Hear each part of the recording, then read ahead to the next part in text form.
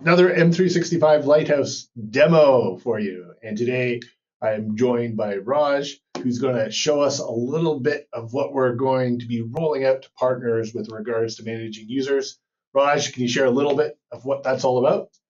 Yeah, so we are rolling out a very rich user details panel within Lighthouse. Uh, if you're familiar with the M365 Admin Center, uh, there's a very good user details panel in there where you can do a lot of user management tasks. So that's what is coming to Lighthouse now.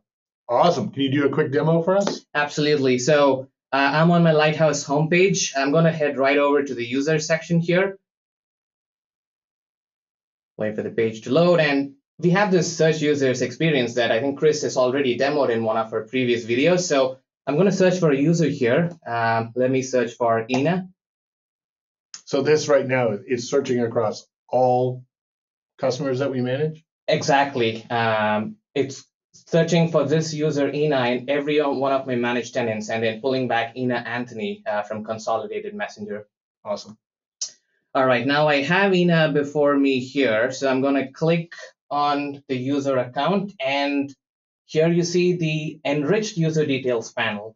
Uh, if you remember, this used to be much lesser before. Yeah, I think it just had like reset password and uh, block user. Exactly. Or and block it, sign in, sorry.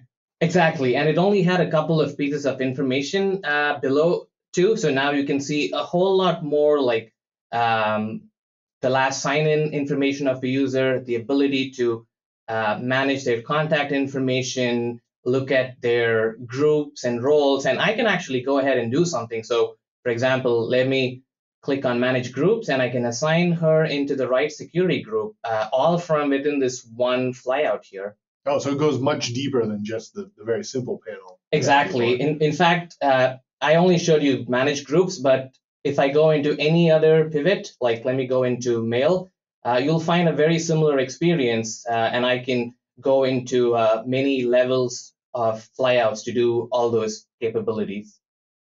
Awesome. Thanks for sharing, Raaj. Much appreciated. Thank you for having me.